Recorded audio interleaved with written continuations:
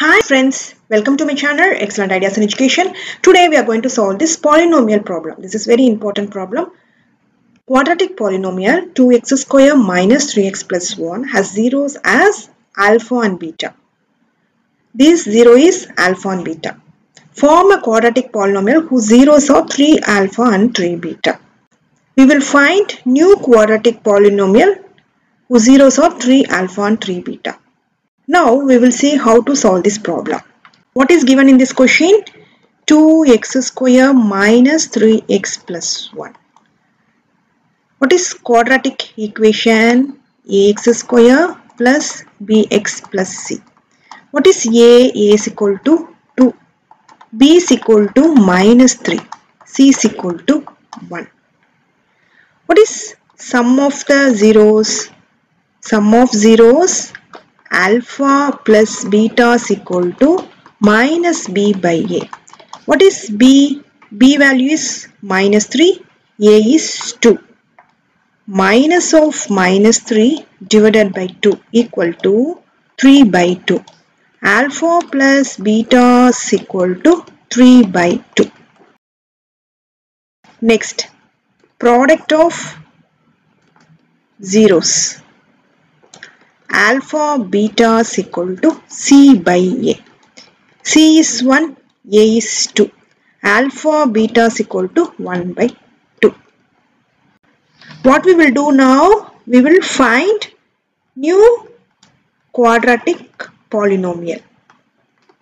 New quadratic polynomial whose zeros are 3 alpha and 3 beta is what we need to find? 3 alpha and 3 beta. X square minus open the bracket sum of zeros x plus product of zeros. X square minus sum of zeros is what is sum of zeros? Alpha plus beta but in this question is given as 3 alpha and 3 beta. So we will take 3 alpha plus 3 beta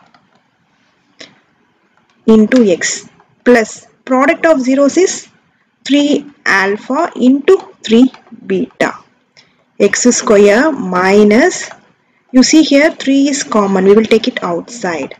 3 open the bracket alpha plus beta close the bracket x plus multiply this one 3 into 3 9 9 alpha beta.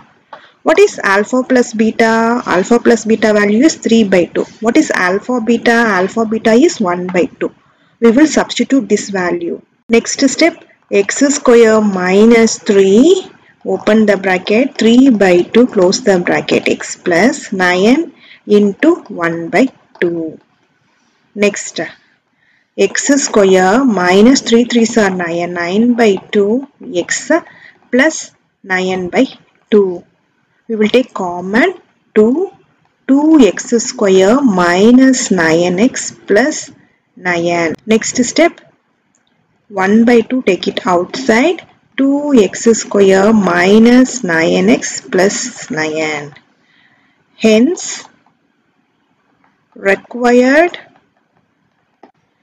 quadratic polynomial is 1 by 2 open the bracket 2x square minus 9x plus 9 thanks for watching this video